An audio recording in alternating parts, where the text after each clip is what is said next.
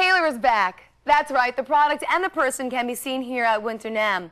The Kahler 2300 Professional Flat Mount Series tremolo system is made in the USA and comes in a choice of bright chrome, black chrome, and gold.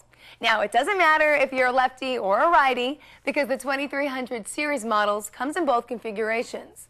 Now, features include six-way adjustable saddles, side to side for better string spacing, front to back for more accurate intonation, and up or down for radius matching. We still have the 2300 and 2200 series models just as we've had over the past 20 years. They're cam operated tremolo systems with six way adjustable saddles, allowing the OEMs and luthiers to build guitars as they see fit, no longer being confined to the limits of other people's hardware.